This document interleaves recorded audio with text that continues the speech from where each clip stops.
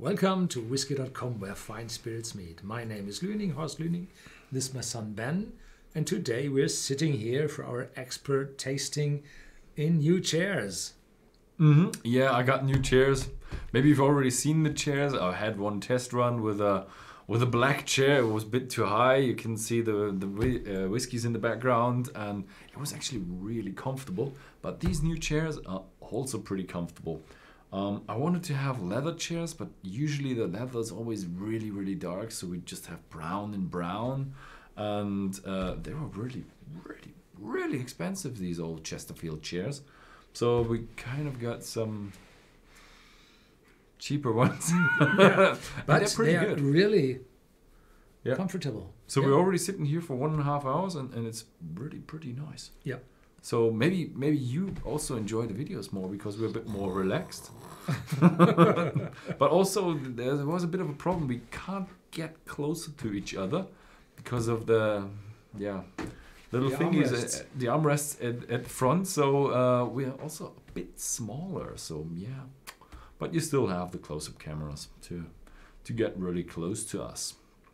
I think usually we are one of the YouTubers a bit bigger, now with the YouTubers who actually have legs. Do they really have legs? Most of the YouTubers don't have legs; they're all disabled. so there, there are people coming in. This is not leather. This is Chinese plastic. Yes, my chair is Chinese plastic. In the in the start, first half year, it was stinking like hell. It was incredible. Instant kung fu virus. Hello from North Carolina. Armenia. Interesting. Okay, Yeah. so uh, what are we having today? In the Today, this is a follow-up video to the last one, Mhm. or live stream to the last one. We had a beginners tasting, and today we have the follow-up experts tasting, and we decided to have the same distilleries as before, Mhm. and we take the older ones. But unfortunately, those older ones are expensive, Mhm. really expensive, and those four bottles add up to close to 400 Mhm. euros. Yeah. yeah. And what is really really interesting is we we really discussed a lot. What should we do for the? We don't want to call it expert tasting. I'm not quite sure how how we named the video here, but uh, it's kind of an advanced tasting. So this is this is not like the real the bolt heads, but this is like when you get a bit more deeper into the hobby. And what is what I'm really proud of is that we got the Tullibardine 15 because the Tullibardine 15 is quite a recently new whiskey. So uh, really interesting whiskey. It appeared just a few weeks before. Mhm. So, yeah. And uh, this time, because those whiskies are a little bit more expensive, uh, we have smaller ones. We have our own miniatures for that. Mhm. So, we're not tasting from the big bottles. So, we're saving money. Yeah, for Uh, for our German customers, uh, we couldn't just tell everybody, yeah, get the get the 400, get the bottles for 400 euros. That would have been a bit mean. So we had smaller bottles.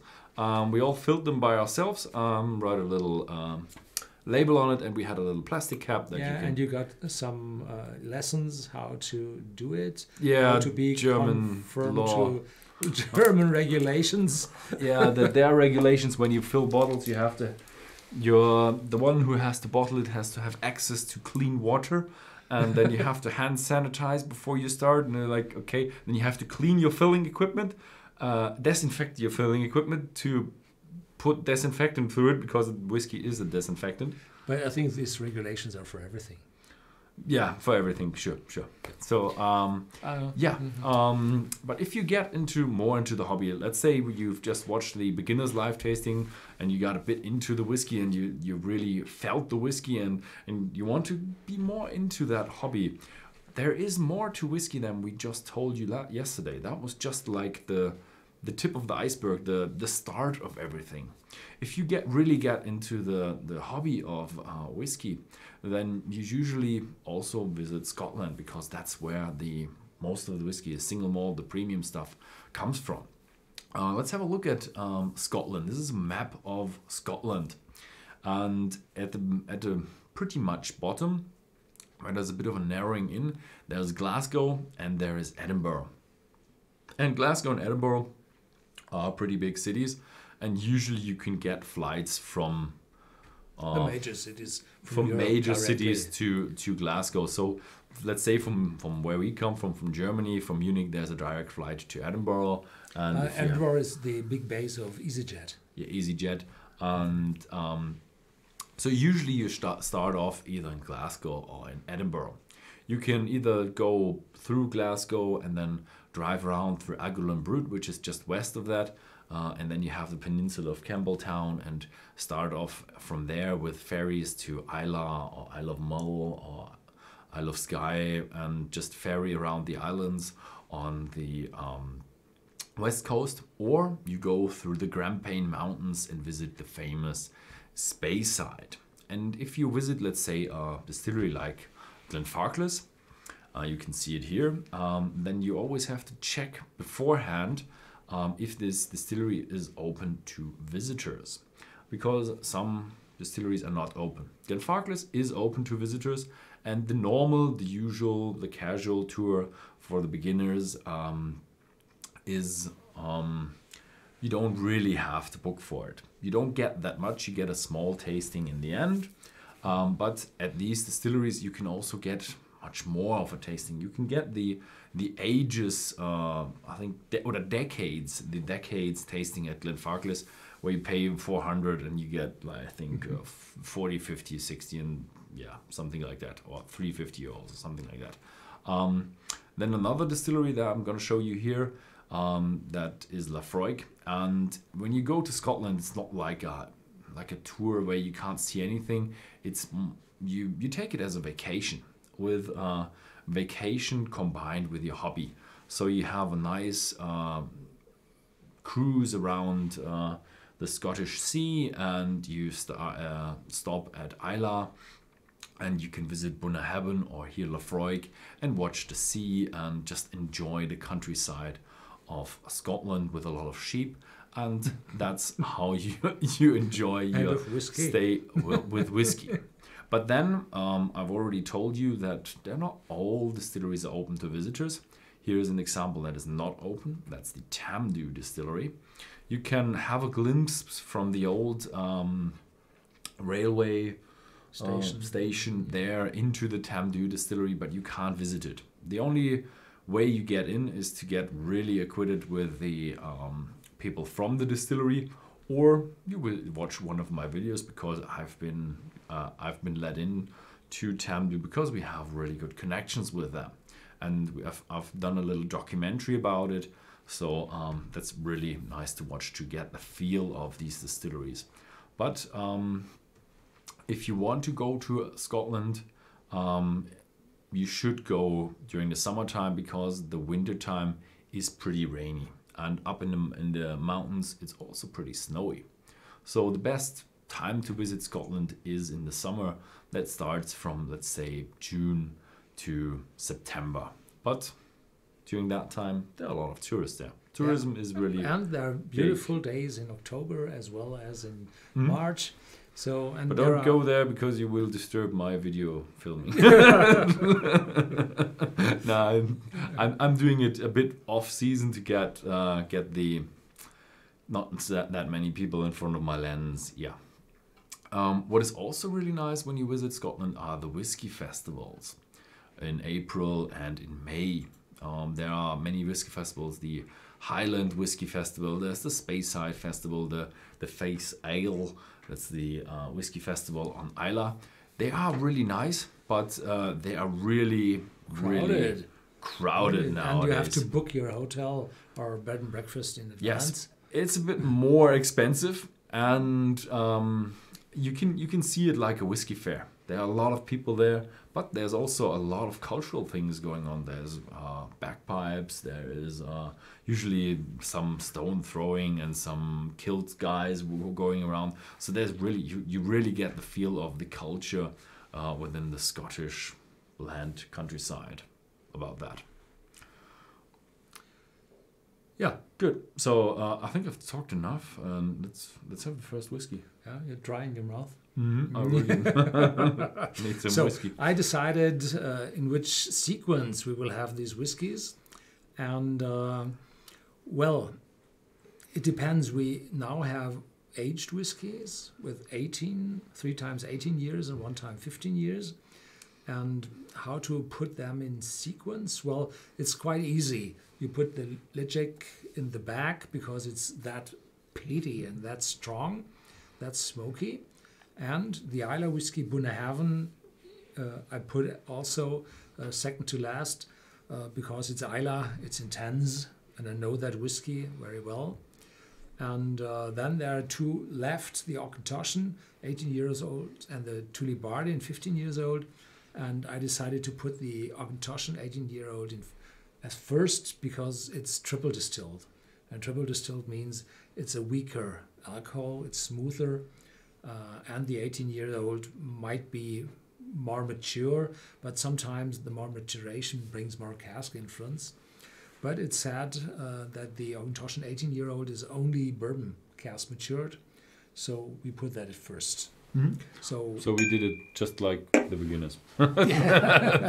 so uh, we uh, emptied. That, there are four centiliters in it, and we put out one centiliter each. Mm-hmm. So there's half of it still in there, uh, but we didn't finish the whiskey.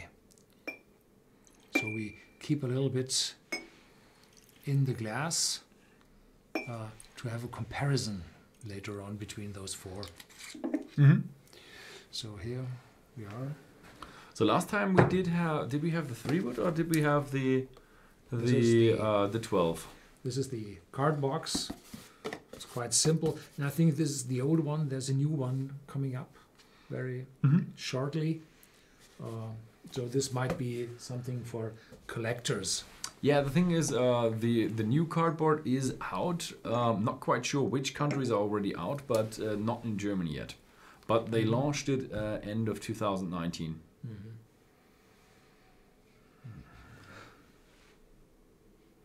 Uh, I've already seen there's one guy who, who wrote uh, a question into the chat. Uh, we're gonna answer questions, but the question section will be in the end of the video.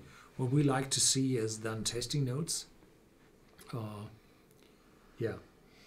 Um, let's have a few words to Auchentoshan as well.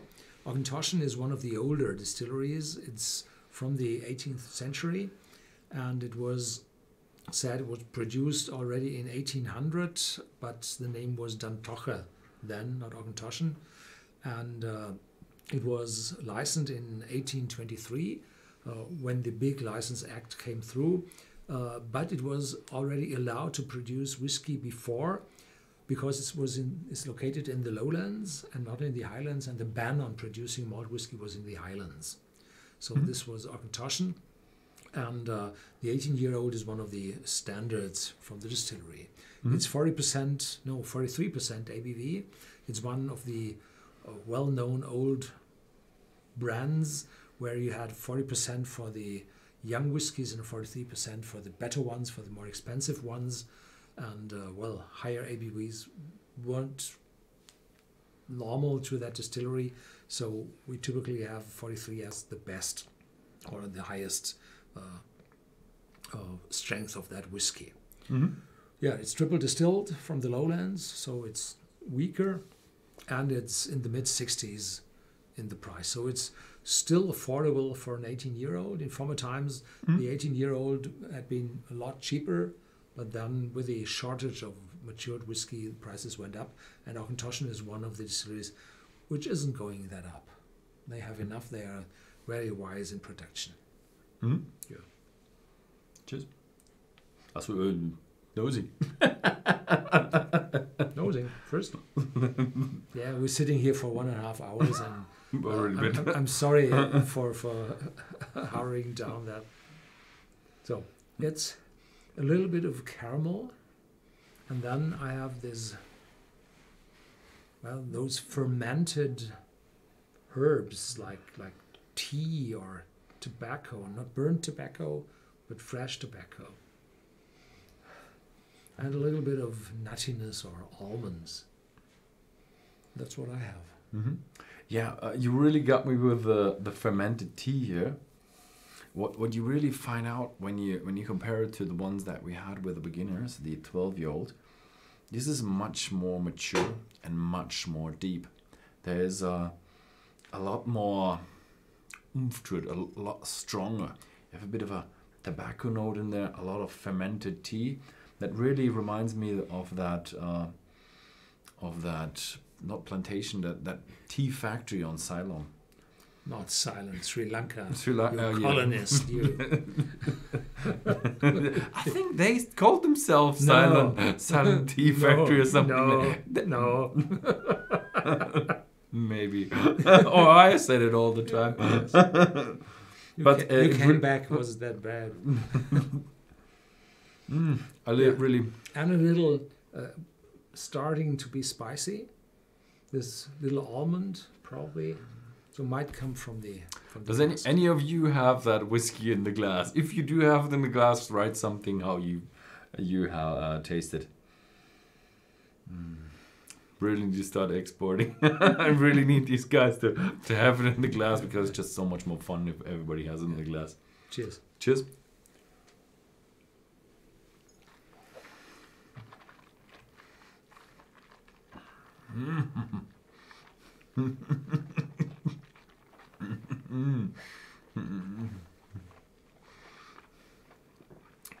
There's more. It's stronger. so when we had it first, it wasn't that strong. Did you mix up the? No, it's the right one. Mm. That's it. That's extreme. Mm. A lot more than before. Mm. So I have the caramel, a little sugary, some sweetness, but oakiness, tobacco, long aftertaste, oak. But in the end, no bitterness, no long lasting sharpness. So in total, it's quite smooth in the finish, in the aftertaste. So there was this uh, extreme, intense taste when I had it on my tongue, much more than the 43% suggested. Mm. Mm. What I find is uh, it's very interesting because, as you said, it's a very, very intense whiskey. Intensity with a lot of cask, a lot of oak. Mm. Also, that tobacco, a bit of a spiciness, nutmeg, this fermented tea. There's a lot in it compared with that with that smoothness from the triple distillation.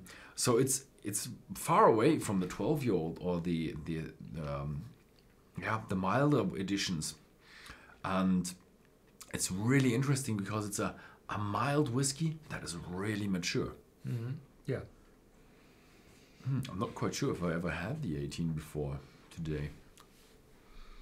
Not quite sure. you missed it last time, no? Mm, it's it it's one of your distilleries. I've never been to Auchentoshan before. Even though I've driven past it like 20 times. it's like, oh yeah, there's Auchentoshan. I've been Never been there. I've been three times, yeah. Mm. mm. Yeah. Okay. hmm Nice whiskey. You, you put it up to the top Mm. or To drop, okay. to keep the sequence. Not, not quite clean. Um, so we're going on, we're going further, and those old whiskies are not that available as they were some decades ago. So the older whiskies were bought with the globalization of malt whiskey.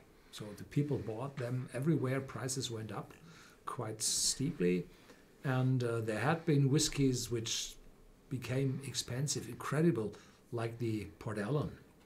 And here you see a picture of the Port Ellen 10th an, uh, anniversary edition. Uh, no, uh, annual releases, they were called, I think. They are gone now. And uh, those bottles, in the beginning, they started with a thousand euros and then went up until three and a half thousand or four thousand a bottle. So they were incredibly expensive because they were the last of the distillery and the warehouses ran empty.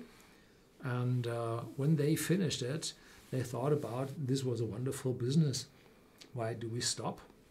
And then they decided they uh, will build the Port Ellen distillery again. So with the old plans, uh, with the old equipment so that Port Ellen will rise again from the ashes. Mhm. So this is wonderful. And uh, the new ones will, of course, have no age statement on it. Oh, Um, I don't know. Oh, will they write three years on it? Or maybe they'll not release one for 10 years. No, I don't think so because uh, there are controllers in charge of the business. yeah, I think they'll, they'll release a NAS. And NAS, the first NAS will be over 100. Yeah, talking about NAS, huh?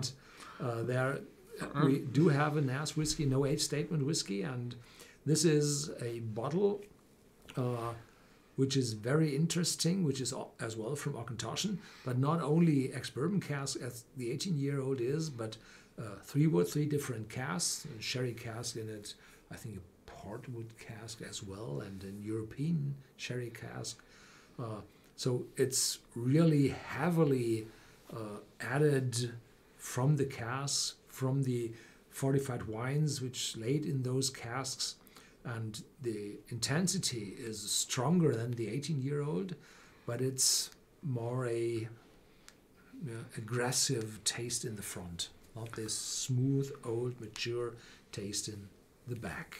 And if you if you're uh, an advanced whiskey uh, enthusiast, I would say, and if you come to circles of uh, whiskey tasters, there's always that discussion: Are the new new NAS whiskies that come out pretty often now? But I think they tend to go back a bit. But during the last decade, there was a lot of NAS whiskey coming out. Are you pro or against it? Um, I think I'm pro because if the people buy all the NAS whiskies, then there will be more age whiskies for us. so it's a good side and a bad side to it. Um, if they neglect maturing whiskey for longer years, the officials of the distillery, then I think it's a bad thing.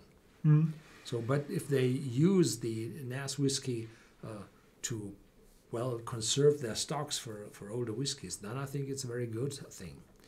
And there's not only Port Ellen to be reopened again, there's as well uh, Brora, which is will come up next. And Brora, as well as Port Ellen, they too belong to the same company, and they invested, I think, 5.3 million pounds for uh, the well the rebuild of the distillery. And I had been at Brora here from the a view from the uh, Clynelish distillery down to Brora. They are sister companies, and I was able to look through a wooden fence or a wooden gate. There was a, uh, a gap in, and could see the old distiller stills in there. In there, so I don't know if they will restart with the old stills or if they have to build new ones uh, to the plans of the old one. And it's must be in this year, last next year when they start production. So three years from now, or from next year, uh, there will be new malt whiskey coming. So, uh, when have you been there? I think it was 2004 or 2005. Yeah, yeah, that, that camera. The second time. pretty first good. time. First time was 95. 95. Okay, so, but it was already the pic- closed. Uh, Brora was closed. Clynelish was running, uh, and Clynelish is a distillery uh, with the big new building as it was uh, typical in the late 60s and early 70s with those big windows where you could see the pot stills through and a wonderful view from the inside to the outside with those big windows like Caol Ila, like uh, Teaninich, like Glen Ord. They all are from the same time uh, where those uh, construction type was uh, typical, but Brora here is an old one with those uh, old uh, natural stone brick buildings and this chimney, this brick stim- chimney. Yeah.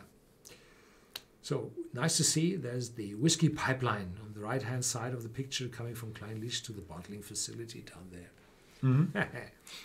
yeah, so Talking about reopening, huh? yeah, so Tullibardine was a distillery which closed a few months before I was there. So I stood in front of closed gates.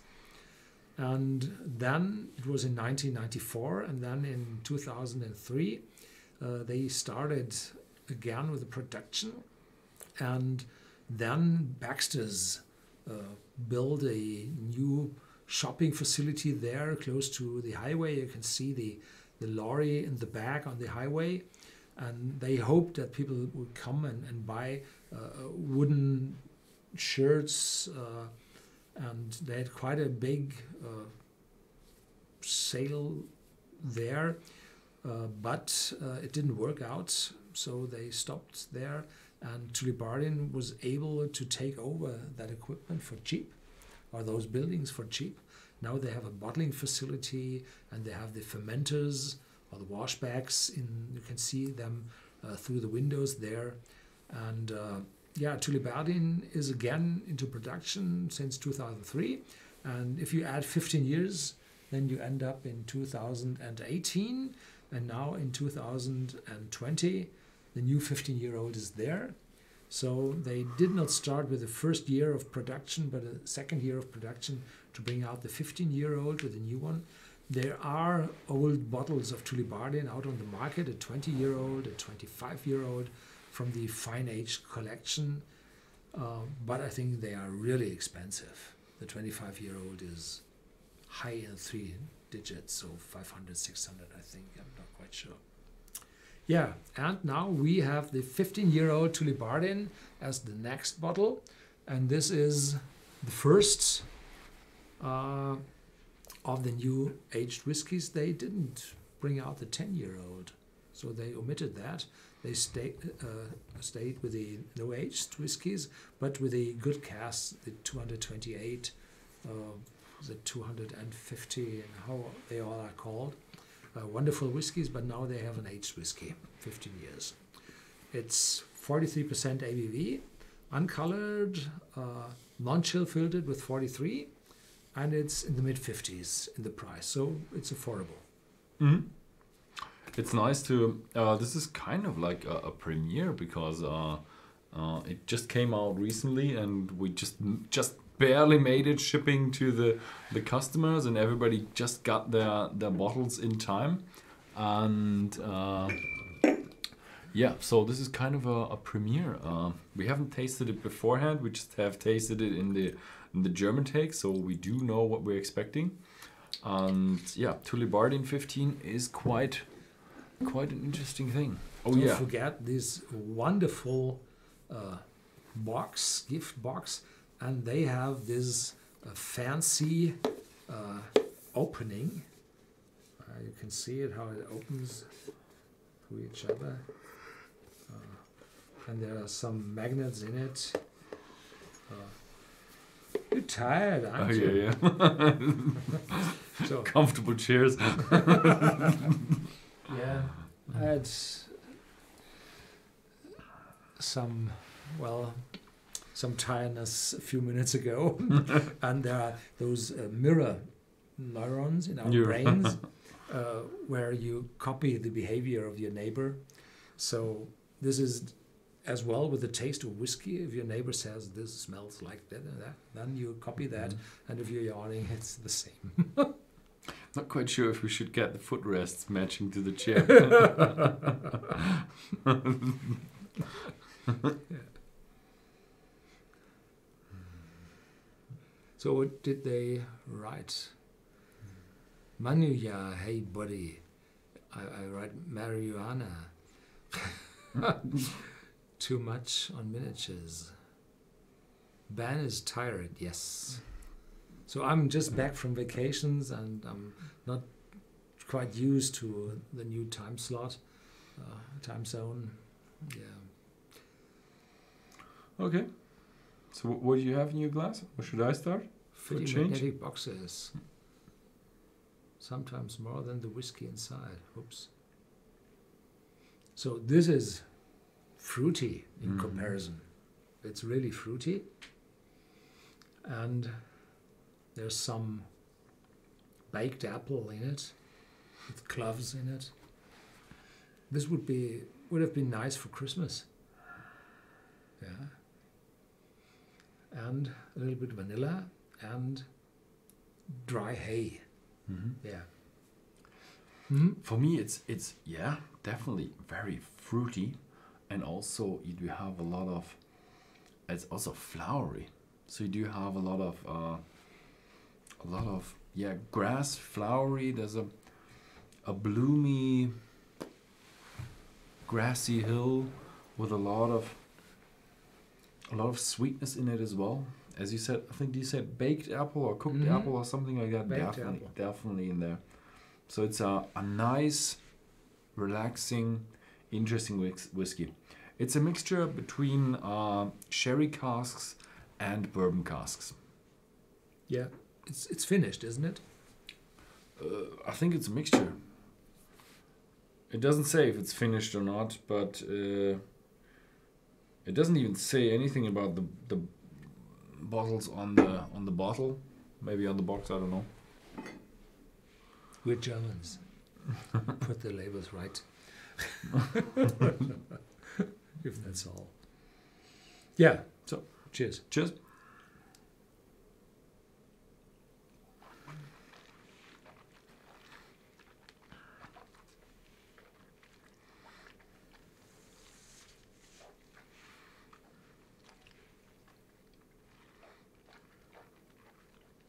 Mm.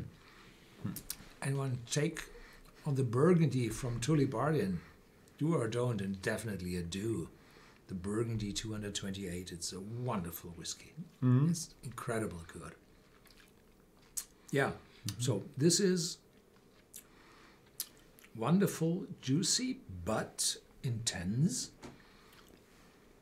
Some spiciness in it, little sweetness, some nuttiness, probably from part of sherry cask. This is uncolored, so it has to be a little bit of sherry cask influence in it, at least. So definitely there some strawberry jam, probably a little sweetness. Yeah. Okay. Mm-hmm. Mm. It's nice. Last time, I think, did we have the Burgundy? I think we had the Burgundy. We had it, it once, yes. Yes, and um, this one is like a nice sherry whiskey, but it's also very mature.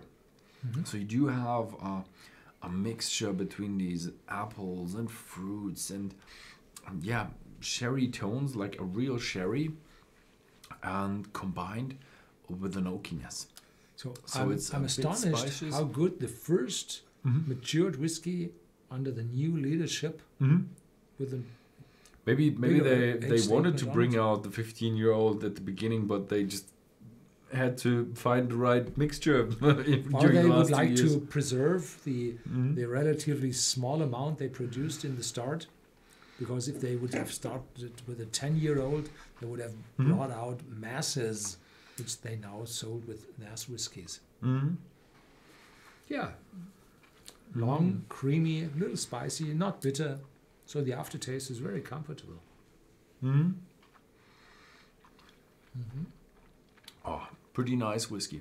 So uh, what what I love about this is this is not like uh, like a one day fly. Mm.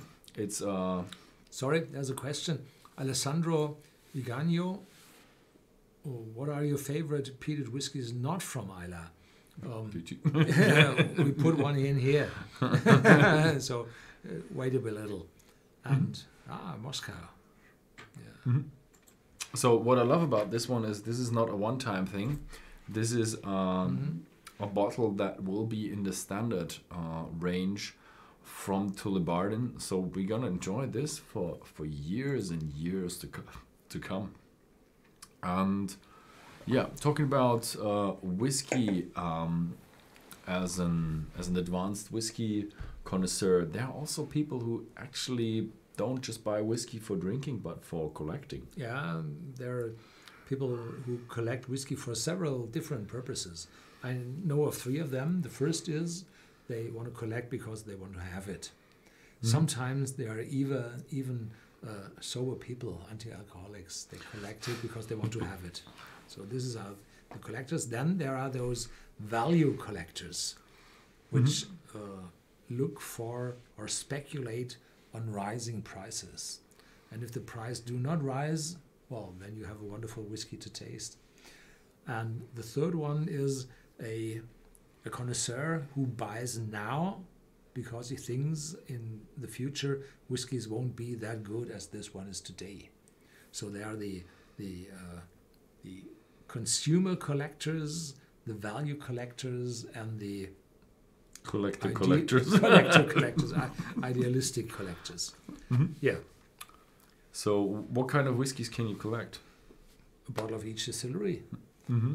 probably, or everybody a bottle of a particular distillery. This might turn out a little bit too expensive. so there had been people collecting every bottle of Macallan, but then the Macallan prices rocketed like hell, and you had to pay a hundred thousand for a bottle. And there were only very few Japanese and Asian guys willing to pay that. So then collections broke, and they were no longer uh, uh, complete. And then uh, thoughts changed about, well, I do not have a complete collection. From Mhm. Ardbeg, uh, there had been very few bottles out there, so that you weren't able to get one. So people turned away from Ardbeg, from collecting Ardbeg, because they weren't able to get one.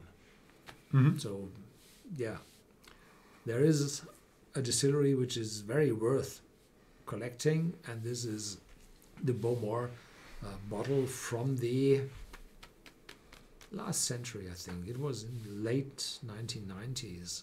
The Sea Dragon bottle in a ceramic decanter, and that sold for less than a hundred, I think.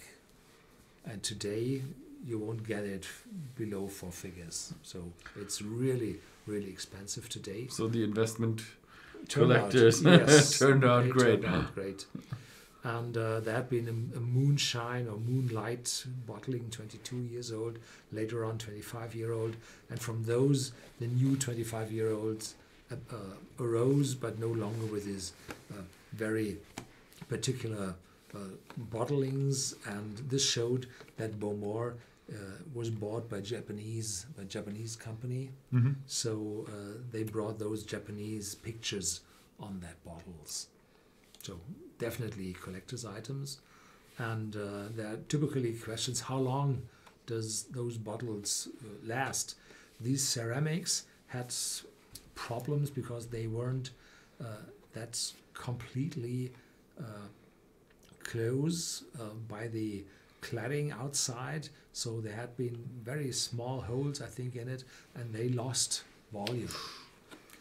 And uh, if you have a collector's model and then uh, you lose volume, then it goes down to the neck, and then to a quarter neck, half neck, three quarters neck, full neck, and then prices go down. But if the the level goes down to full neck, uh, then uh, it is typically such a rare and expensive bottle. It doesn't matter any longer. So as, as long as anything is in that bottle, uh, it will get its price. And to Mm. avoid evaporation on the bottles, you can use a, a foil called parafilm. You have a box there. Mm-hmm. Um, this is a Oh, yeah, that showed first. this is the box called parafilm. You get it uh, in the uh, supplies for the labor- laboratories. Laboratories. The chemists. And it's kind of US made because it's got the the, f- the funny units on it.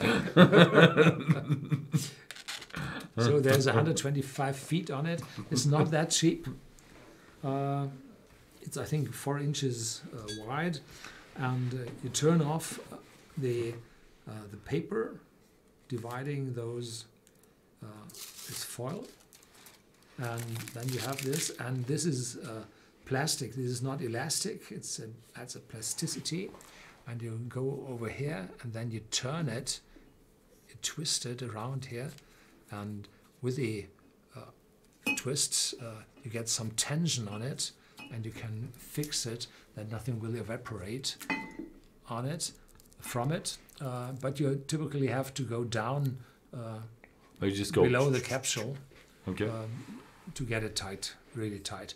And the good thing is, this one is so pure and uh, that you can close these analytic uh, uh, substances in, in chemistry without uh, diluting or uh, uh, putting strange things in it. So it's very, very clean foil, and it does not uh, stick to not all, most of the capsules that you don't tear off the uh, the color if you remove it and you use it not only for preserving bottles you're collecting for a long time, but as well for bottles you're already opened and had a little bit out of it, and then you fix it for keeping it for for several years. Yeah, if you if you drink a really expensive or if you try a really expensive bottle and you open it and you enjoy it with friends but you don't finish it, this parafilm is one of the good investments then. Yeah. So and if you have a circle of, of whiskey friends, I think one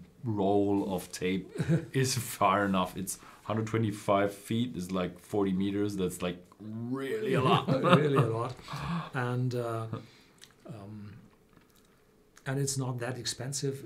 Such a roll costs around thirty or forty. Uh, yeah, and how long does a whiskey last if you fix it that way?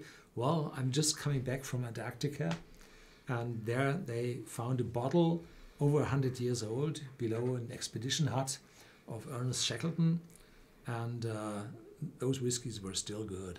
Richard Paterson, uh, he, they collected two of those bottles from this uh, heritage, and they were allowed to take small samples uh, from those bottles, and they did a gas chromatography on that. And there will be a video on our channel very soon where I describe that.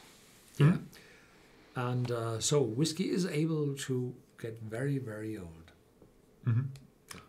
So, but there's one thing that you really have to look out for when you're collecting bottles because maybe you miss one bottle when it's coming out. You can't buy it at your trusty local shop, and then you have to look out for false bottles. Have a look at this bottle here. It's a Macallan, 1949. Is it a real one? Nope, no back label. And there's a little sticker down there and it says not for human consumption. This here is not uh, uh, a false bottle or a fake. This is just a show bottle. And a show bottle means that, that we got this for display in our in our local shop when we still had the local shop. Um, but when you look out for for fake bottles, um, yeah, usually try to buy at your trusted shop who who you know and who gets the uh, gets the bottles through the official lines. But if you um, if you go on eBay or sometimes Amazon as well, uh, there are fakers out there. You had some numbers about that. How many Uh, fakers there are? are a big number, so it's very likely that you get a fake one. If you say, "Oh well, this is a little bit cheap, I will take that," don't do it. Mhm. So uh, good is if you buy a bottle as a collector, uh, keep the invoice. Then Mhm. you have a proof, and uh, do not have an invoice from somebody, but from a re- uh, renowned good shop where you can say, "Here I bought it. This is the proof." Mhm. And typically, you have more uh, bottles on that invoice, so make copies uh, to give it away with the bottle if you sell it. Yeah, and if this bottle would have been real, then we would have would be sweating here, not to dropping it because it was six-digit figures. Mhm. So But really it's just a show bottle. yeah. And Probably- we're not gonna try to sell it as a real one. Probably if you're going to resign and then heading for Paraguay or something. Take one of these bottles with you. Yeah. So yeah, watch out for for the fake ones.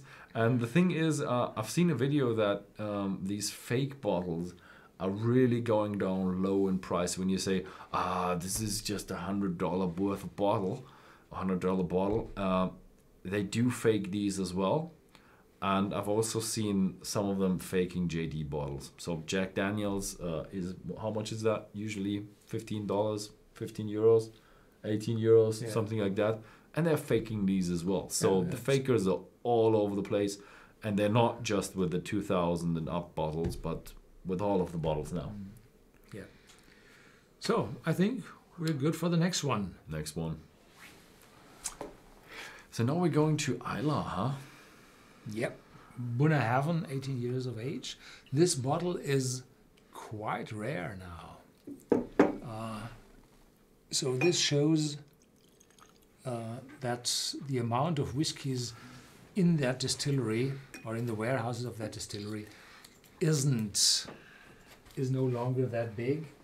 Uh, so the prices rise a lot. So this is uh, might be close to 200, and it will most often not available at all. There's a 25 year old on the market as well in a wooden box, but that's a few hundred more. Um, Mm. So this distillery is really overboard, so that the the amounts of, of whiskey is no longer there. Someone said, check your miniature. It's the right miniature. It's the right miniature. and I can even smell that that's the Yeah. right miniature. Just had it uh, half so an hour it's ago. 46.3 ABV, and it's unchill filtered, uncolored as well, and uh, yeah, it's Sherry cask matured. It's a sherry cask maturation. Yeah. So it's sweet, it's sherry, it's dried fruits, a little spiciness, a little nuttiness, as typical with sherry casks, and a little maritime note. Yeah, that's Islay. Little sea. And sweet incredible sweet. So we're tasting here for for nearly two hours now, uh, or more than two hours. So uh, you're getting deeper and deeper into the whiskey, Mhm. not from the amount. So you, you see, we, we leave most of it in the glass, uh, uh, but you add up those aromas in your in your mouth. Hmm. It's a yeah. It's a lovely uh, whiskey with a lot of um, I would say oak aroma in it. So it's it's really deeper. It's really stronger, and uh, there's also a bit of caramel note in it. I like it. So it's Mhm. um, but the the amount of smoke is very limited. Very very Yeah, limited. very So last time the Bunnahabhain we said oh lightly smoke it. This time it's yeah. What's what's lighter than lightly smoked? Very light smoke. A hint of smoke, a whiff, A whiff, of a smoke. whiff of smoke. A little little smoke. Yeah. out. Cheers. Cheers.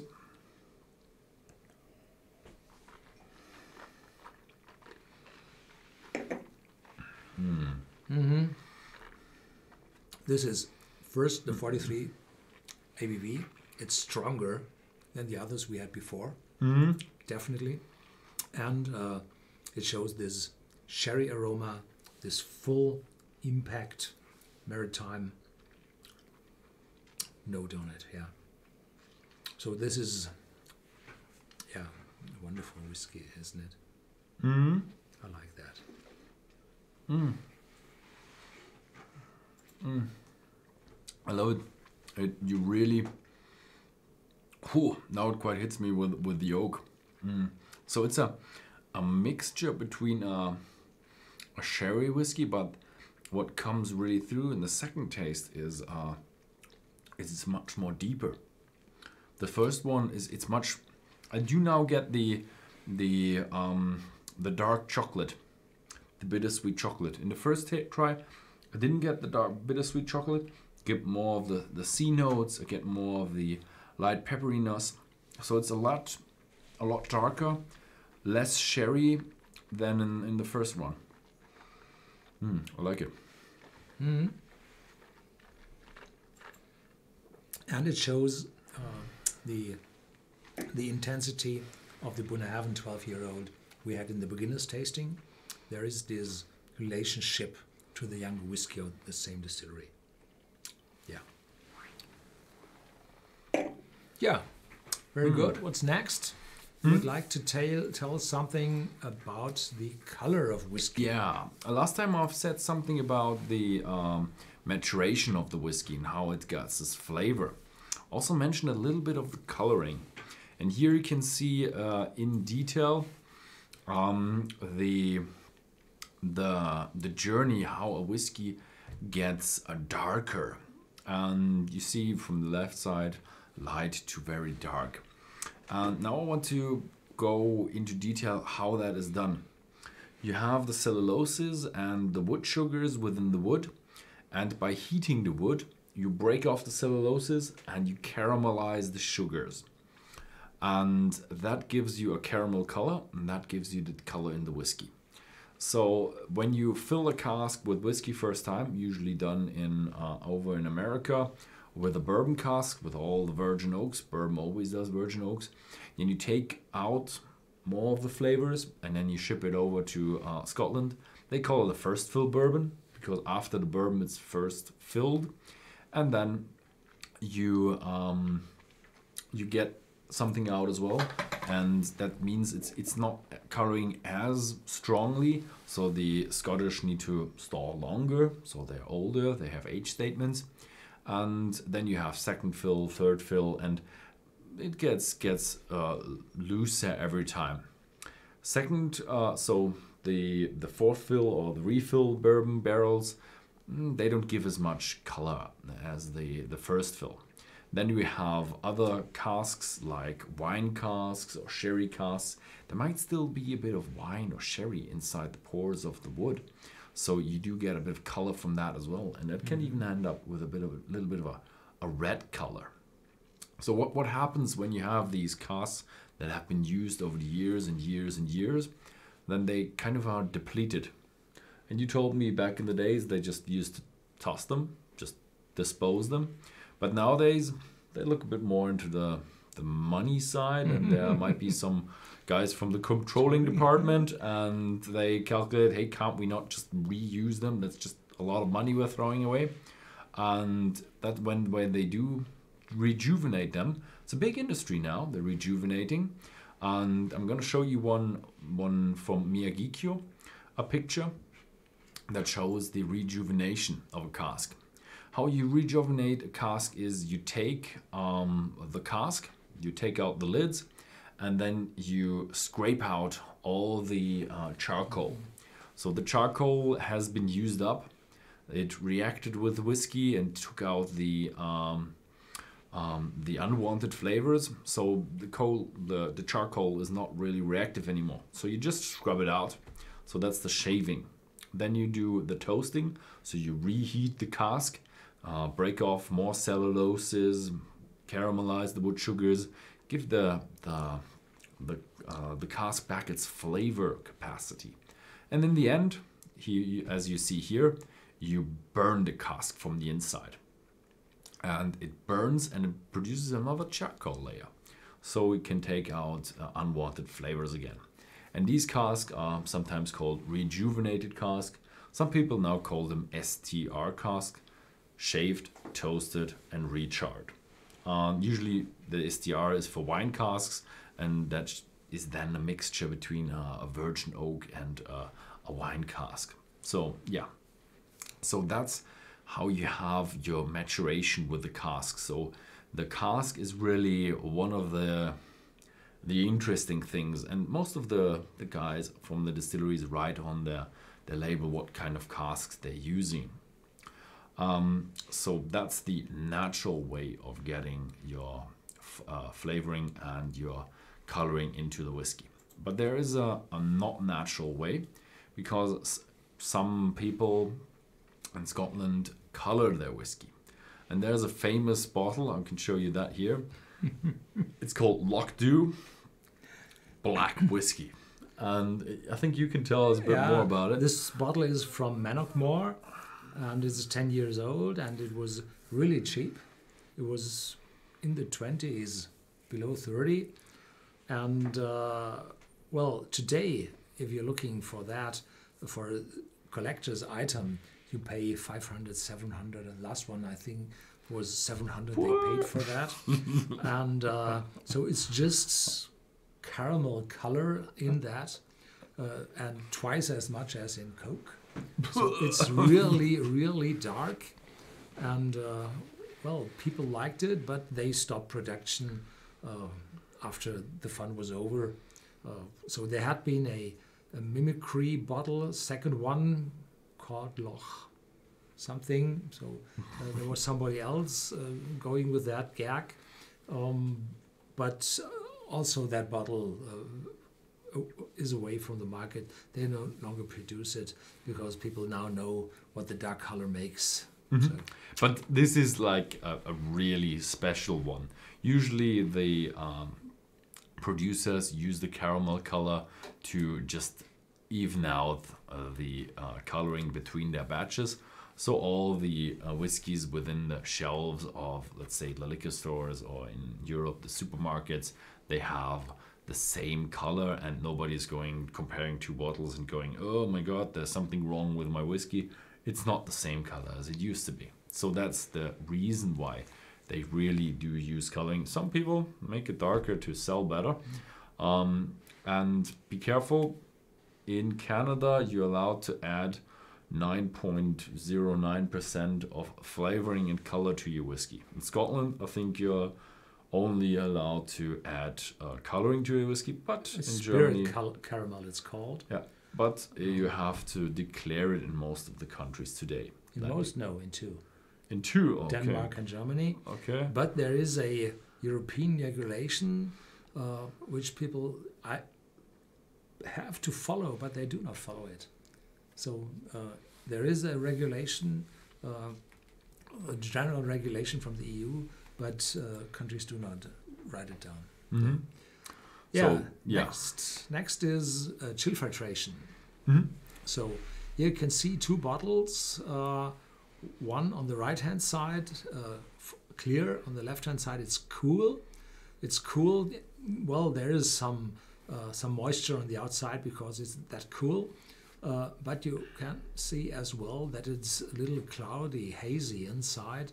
That's because a cooler liquid does not have the uh, solution ability as a warmer liquid has, and some uh, substances inside uh, the bottle will cling together. The molecules build bigger structures uh, called micelles, and they you are able to see and some are so stable that they keep being hazy after getting warm again.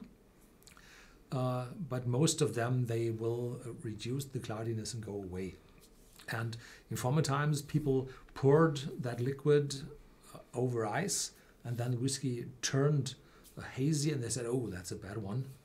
So people said, "Well, we're cooling it down, uh, then press it through a filter, and with that filtering, uh, we reduce, uh, we take out those substances, and when it's getting cold again, it will no longer turn cloudy because we took out those substances first time when it became cold.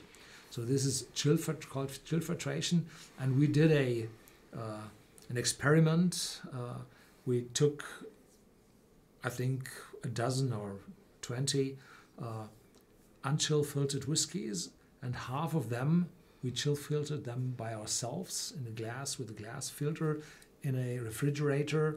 And then we filled samples with numbers on it and uh, sent it out to 100 connoisseurs with good knowledge about whiskey and asked them to return them uh, and giving hints uh, about the, uh, the quality of the whiskey. And we found out that in average, uh, the chill filtrated whiskies and the non chill filtrated whiskies were the same in in uh, in quality. Only the very light ones with very few maturation in casks, the lighter ones, they turned out that the chill filtrated whiskies were better than the unchill filtered, rated better. But the, with a bigger cask influence, they were just equal, and that might have been the reason why in former times they invented chill filtration because the not that good whiskies tasted, tasted better.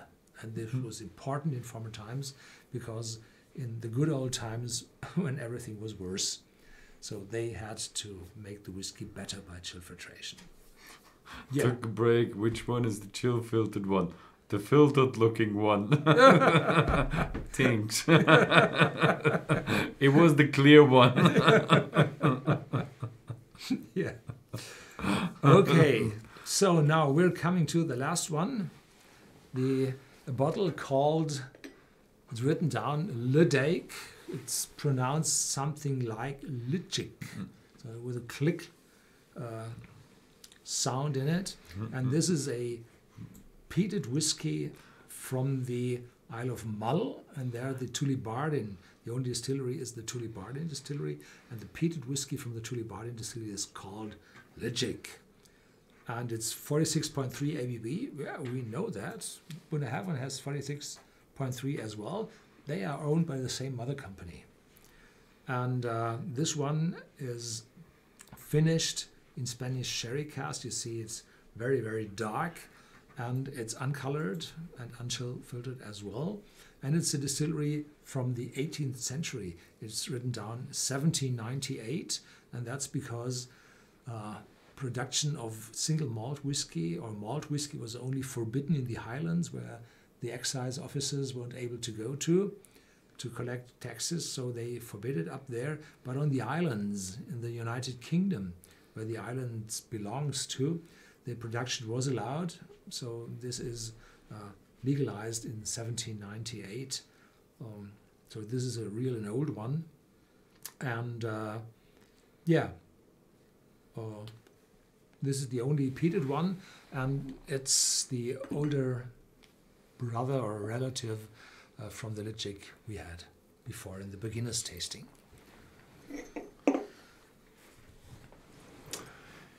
Yeah, Tobermory is a bit of a weak spot because it's the only distillery that we haven't been yet. The only one, or one of the One few of the ones. few ones. Yeah, the, one of the classical, the, I think the classical So one that the- we've not been to. Yeah, the last two years it was closed com- for Mhm. renovation, and I wasn't on Mull. I, I just uh, uh, uh, passed Mull with the ferry, uh, but it wasn't on Mull. Yeah.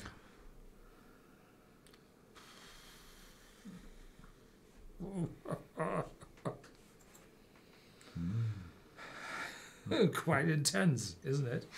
Yeah, it's, it's, It's, It's a- smoky. it's a hefty ending. yeah. Smoky with a light maritime note. Very intense. Lightly cooling in the nose, but it's because it's 46.3 ABV. Yeah, and a lot of smoke. A lot of smoke. Stinky smoke. And it's incredible. A lot of smoke for that an old one. Mm-hmm. Typically, the the peated uh, aromas, the smoky aromas, they reduce, they oxidize over the years in the cask because the cask has a uh, connection to the outside air. It breathes. Uh, when it's becoming warm, it presses the air out. When it's becoming cold, it tears in uh, fresh air. With that, oxidation takes place, and the very aggressive phenols, which bring this smoky aromas, uh, are oxidized, turning to more complex aromas, not that sharp, not that intense. Yeah, last time when we had the the younger Ledaig, um, not quite sure if that was as smoky as this one, or maybe it's just really comparable smoky. But this one is just uh, it's just massive. It has a lot of oak. It has a lot of spiciness, a lot of smoke in it. So all the heavy, smoky and all the heavy uh, aromas are really packed into this whiskey. I love it. Mm.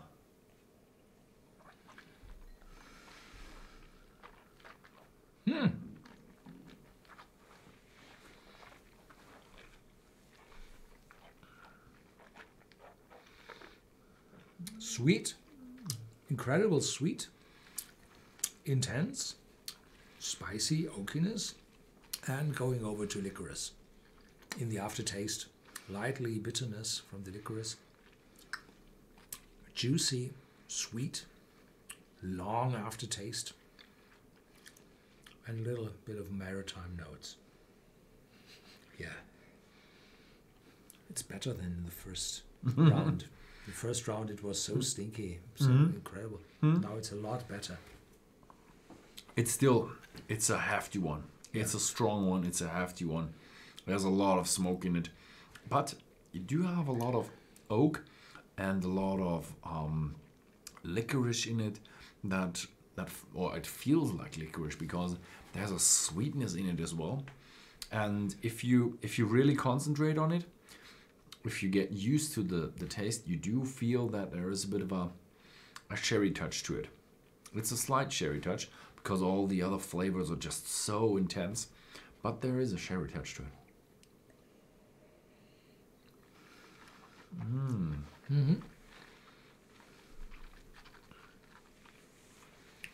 Yeah. I like it. Mm-hmm. So better than the first one. Mm-hmm. So I think you have to to, be, to get used to to whiskey. yeah. Okay. So there's one guy already uh, writing down a question in, in the question section. But because we're now finished with all the whiskeys and we're gonna have a little rating in the end, but we want to have now a bit of an AMA session. So if you have any questions that you want to ask, just write them in the um, uh, chat and we will have have them read out if we can find them. But uh, first of all, I'll, I'll take my own question and answer it. And the question is Is whiskey vegan, kosher, and gluten free? First one vegan. So the ingredients are malted barley, water, and yeast. And yeast is a fungi or Yeah. so I don't count them as animals. They're not complex enough to be animals. So yes, they are. It's all plants. So it's that stuff inside is vegan. But but But uh, if you have chill filtered whiskey, it's most likely that the filter is a compound of uh, those small uh, filtering particles, and uh, they are glued together by gelatine, and that gelatine is is uh, from uh, from cows, I think, isn't it? Yeah. So Mhm. gelatine uh, makes a whiskey non-vegan, so you should use uh, have unchill filtered whiskey to Mhm. have a vegan whiskey. and you don't really know how the the label is glued on, but That's not inside, uh, outside. This depends on your ethics. Yeah, If you're, uh, depends on why you are vegan. yeah. So, So uh, yeah, it's pretty vegan. So if you have something, it's not really in the whiskey. So the production material uh, might, Might have some, some. yeah. but the main production material is uh, wood, and that's also plant. Um, so is it kosher? Well, there are a few whiskeys that are kosher. One example here is the uh, Milk and Honey from Israel, which just came out. And there are other distilleries that do kosher whiskey. I think Koval does one, and there are a few other ones. And Glen Rothes. Glenrothes as Mhm. well. Yeah. If you want to be kosher, you have to uh, sign up with your local rabbi, and he will check your distillery for a few things to be kosher. So you don't mix holy stuff with non-holy stuff. Holy stuff is like something like wine. So you're not allowed to distill wine on your still that you're using Not, to not do. still wine. you don't uh, distill wine? cognac. So Cognac. Mm, So yeah, mhm. uh, I think sherry is also not allowed, but I'm not quite sure about that. So, but talk to your local rabbi rabbi to get uh, certified kosher And he has to come regularly for certification. and for tasting. and so, in the end, uh, is it gluten free? So, gluten is the protein inside uh, some grains, mainly wheat. Mainly wheat. Um, so the barley has very, very, very little gluten in it, and But it has. but it has. Mhm. And when you mash it, then you take out. You want to take out the the starch and sugar, and you want to leave the protein in because they give you a bitter taste. So you mash for the sugars and the starches, and you're left with the proteins. And the, the cows and, and the cattle and everything, they're really fine with the leftovers because they're high in protein. And that's what you want to feed to your cow. So you take out mostly the starch and the sugars, and there's very, very little gluten left in there. And then you come to distilling, and the distilling takes out 99.999% of the uh, gluten. Mm-hmm. So you're left with something that is virtually gluten free. Yeah, so we can't guarantee that it's gluten free. Of course Mhm. not, because we do not have the, uh, well, the education for deciding that. We do not have uh, the analyzing equipment looking in, but Mhm. logic says no. And I do have a, uh, a customer who told me he is very allergic on gluten and he had some some medication close by and then he tried uh, with a whiskey and tried and tried and well uh, he didn't need his medicine so it seems to him that it was enough Yeah. gluten free not to disturb him yeah so that was the first question we asked ourselves but now there are questions in here Okay, I, Wilhelm. one I would like to, to answer Kerst- first Oh, you go. go yeah. go first. So there was a question uh, if uh, we're uh, wanting to start our own distilling. tea question: Have you gentlemen considered starting your own distillery? If so or not, what kind of whiskey would you make? Uh, well, we thought about that, but we decided not to do because it's really uh, expensive. The investment is really high, and uh, we're no. We, we might have problems uh, because there are so many distilleries here in Germany. So we had to go to Scotland. That means relocation, and then you have to compete with the real Scots. And I think this chances to succeed in is not uh, that high. Uh, and what kind of whiskey I would have made? Of course, single malt whiskey, and you probably a bourbon. Mm, nah, I think I would have done a single malt as well. Uh, so uh, bourbon or Scotch Ben Yeah. depends on the mood. Uh, I don't know how I got this this uh, rumor around that I really like bourbon. Yeah, I do like bourbon, but I think because my first real tour was to America and do the, did the bourbon tour, and then I had to do all the this uh, bourbon tastings because uh, Horst said, You know "Oh yeah, more." you've been to that distillery. Yeah, yeah, do you do that?" so I really got the rumor that I'm really into bourbon. And yeah, I do like bourbon, but uh, it's not like I don't like other whiskey as well. So it really depends on your mood. If you're in, in for something really sweet and really interesting, then uh, yeah, bourbon might be a thing for you.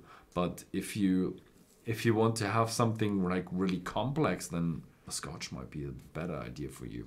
So I can't really answer, give you a definite answer because it's just uh, I love so much variety, so can't Mhm. really go either way. Yeah, uh, about coloring. Sorry, same question again. Why should you coloring whiskey anyway? It's a natural product in general, right? Why decide a distillery to put caramel in whiskey? Almost a shame. Yeah, that's because in former times, uh, if you put whiskey into the shelves and one was lighter than the other, then said, "Ooh, the lighter one must be the bad one." So it is a natural product with a variety in, in coloring. And so people would ask you why the light one and the one in the supermarket, no idea why it's lighter. I will ask the Mm. manager, no idea. We, we send them back. And then you're getting all those bottles, light bottles back. And then people say, well, we're looking what is the darkest one we're getting out of production. And every other bottle we adjust to that darkest one. And there the coloring comes from. But there are some black sheep out there uh, who color whiskey for selling more, putting a lot of color in it to make it darker than it is uh, naturally, and that's a shame, really. Mhm. There was one question. I think it's off off the screen now. uh, Is uh, do you have any other hin- hin- hobbies or interests, Horst? I think there's one big I, interest. I can't stop telling. It's so much. yeah. he's a he's a passionate electric car driver. but uh, I I didn't get him to do the videos in English yet. So yeah. Too few time. not enough time. So do you see a good good question? Uh, what is your take on whiskey malt from other places like India, Amrut, Paul John, Taiwan, Kavalan? Well, you have been to India. You have been to John Paul. nice whiskies. Um, in a general answer would be a lot of additive maturation, not so much subtractive maturation because it's really, really hot. so it's just evaporating like hell. It's evaporating like hell, so they don't become really that old. But the the wood, as it is warmer, is very, very reactive.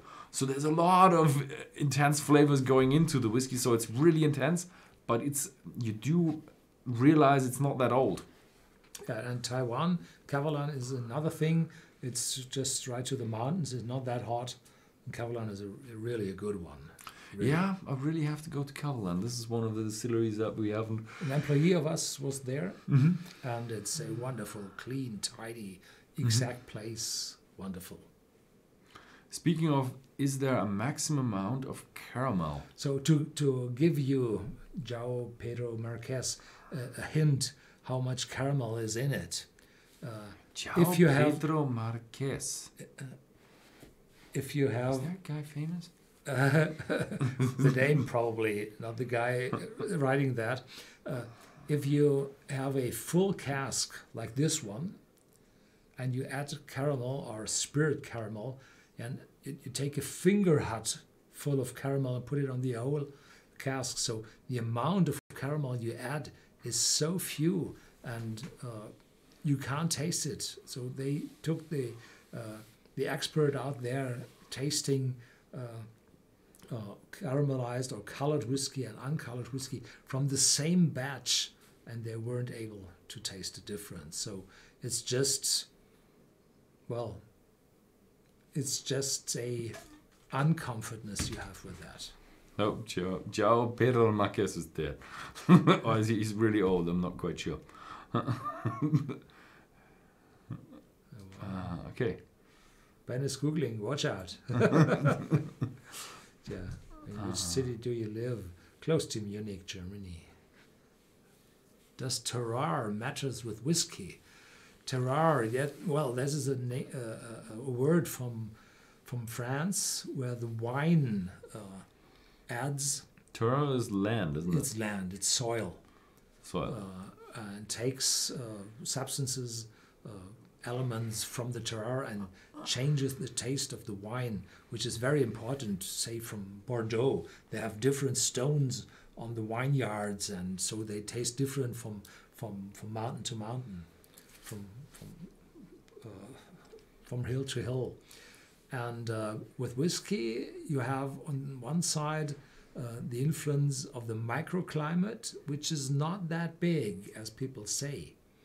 Uh, it's really not that uh, grave because uh, air moves very fast, and all the lots of the distilleries are close to the water, and the air passes around there, and there are no difference from the air. The barley comes from everywhere. There are uh, preferred uh, regions in the Speyside, in the highlands where barley is grown, um, but the kind or the species of the barley has a bigger influence than the soil the barley is, is growing on. Um, so to say no, but the wood makes a difference. They made uh, tests with uh, oak trees in Spain from different uh, uh, uh, hillsides, and they made a difference in taste. So terroir makes a difference, but with the casks. Yeah.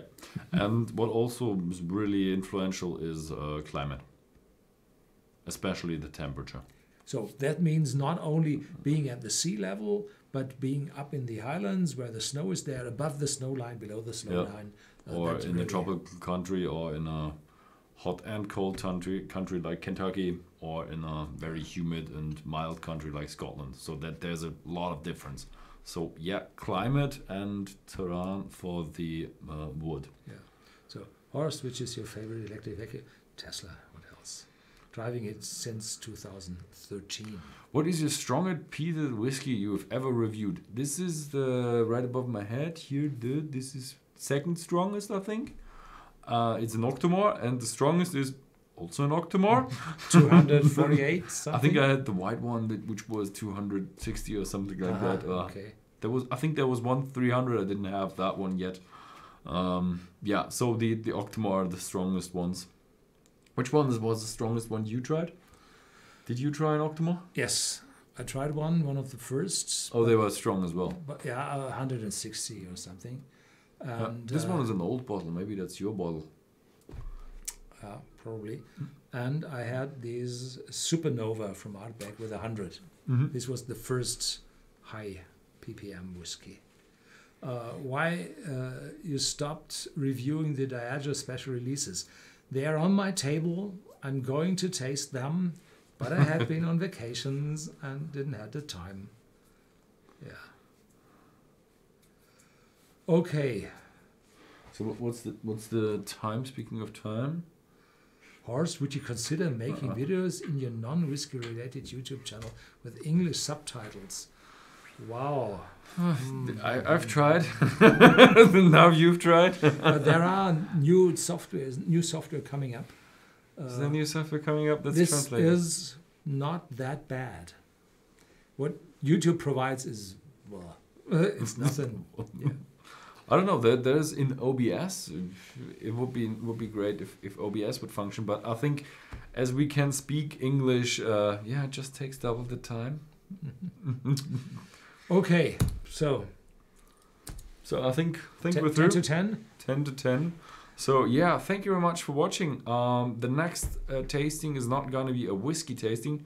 Maybe we'll have one whiskey, um, but uh, it's gonna be an Ask Me Anything. Yeah, we don't call it an F- FAQ anymore because it's like not frequently asked questions, but it's like you can ask us anything about whiskey. so. Um, Ask Me Anything will be on the 27th of March 2020 and it will be in English at 8 o'clock. And if you speak German, you can go at 7 o'clock Central European Time uh, because that will be on whisky.de. So, yeah, tune in. So the 20, uh, 8 p.m. is Central European time. Oh as yeah, well. Central European. And we have to watch out for that one because uh, I think No, the day after. The day after, no, no, three Is it still winter time or is it summertime? oh, I think that the at the end of March is the end of winter time. So yeah, watch out for that one. Just go on whisky.com slash live and you'll find out when it is. And yeah, maybe it changes for an hour because of the summer winter time. So thank you very much for watching. Uh, if you like this video, then please feel free to give us a thumbs up and see you next time.